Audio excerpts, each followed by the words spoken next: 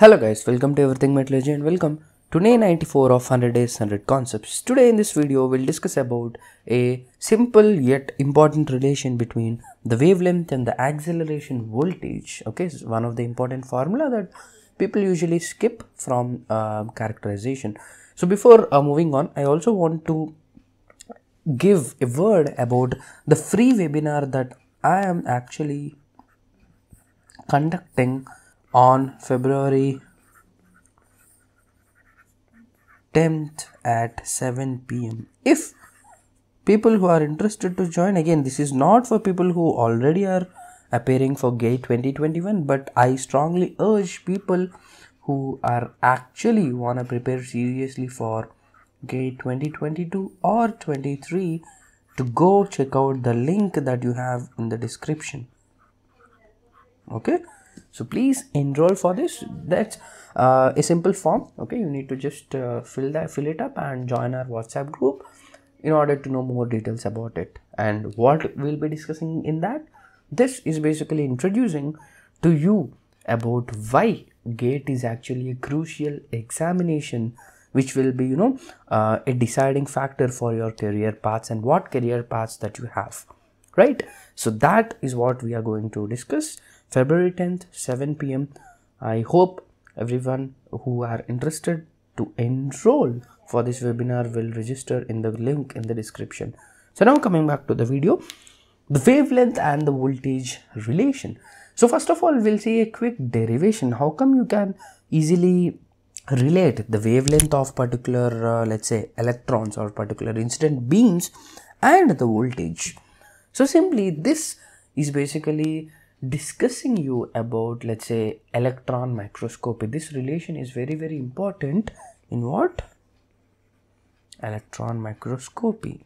Okay for example SEM TEM where you actually use certain voltage certain power which we call acceleration voltage which is actually converted to kinetic energy which converts the voltage, the power into kinetic energy of the electrons and that is actually emitting with a certain wavelength. That is what this relation is all about. So quickly we'll discuss and uh, derive this how uh, you know this relation comes about. So it's pretty much easy. So I hope every one of us knows about the de Broglie's theory, de Broglie's wavelength equation. Right? What is it? It tells that the wavelength is equal to h by mv correct? This is my de Broglie's equation. Correct? Which we already know which we studied which we call uh, an equation of a matter wave. Correct? So what is h here? H is a Planck's constant right? So i'll start with this and try to get relation between a wavelength and the voltage. So it's pretty much simple. Okay? So mv equal to h by lambda. Okay? Just rearrange this thing.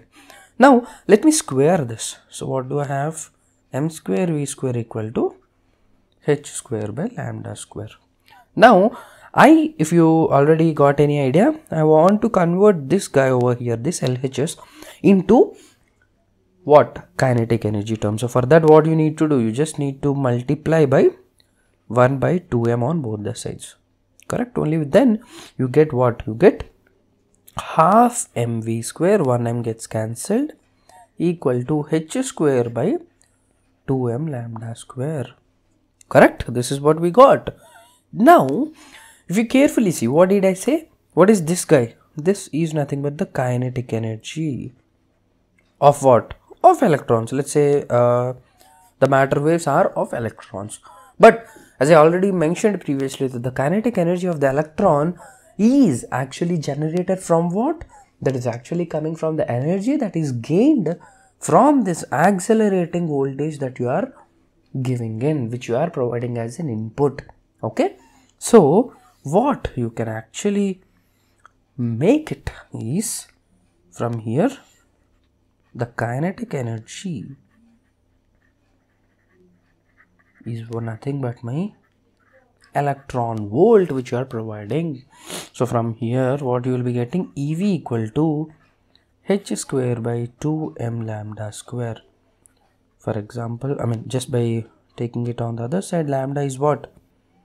After removing the root you get h by let me write it somewhere here lambda equal to h by root 2 mev right? So this is how you got the relation. Therefore what is the relation that you got? Lambda is inversely proportional to root v. But this is not is the case because why? Already we said that in question let's say they'll be giving you that uh, you will be using some amount of acceleration voltage in order to emit out the electrons in a transmission electron microscopy so for that reason what you do just take the value. So what is h? H as i said is planck's constant. What is the value of planck's constant? It is 6.626 into 10 power minus 34 joules second. Similarly what is the mass? So here we are talking about electron. So what is the mass of an electron? It is 9.109 into 10 power minus 31 kg. And what else? E. So electron charge okay is nothing but the electronic charge and this is 1.6 into 10 power minus 19 coulomb. So just put it all these values over here and interestingly you directly get equation for lambda to be root 1.5 by v okay v in voltage nanometers. Okay again you can just take out this uh, root 1.5 and final equation would be lambda equal to 1.22 by root v nanometer okay? So usually people write this particular uh, final equation in different forms okay? Usually they may write in different units of uh, wavelength or different units of voltage the acceleration voltage. So here we are just taking it what? Just uh, normal volts okay the units are volt. But also there are some other versions which they consider kilovolts right? So basically here if you see this is the equation that you got. This is the relation that you got. So lambda is inversely proportional to root v. That means if you increase the voltage what is happening? If you increase the voltage the lambda is actually decreasing. Or in other sense if you want more lambda the voltage should be less. That is the reason why visible light okay? Visible light usually have less intensity less voltage correct?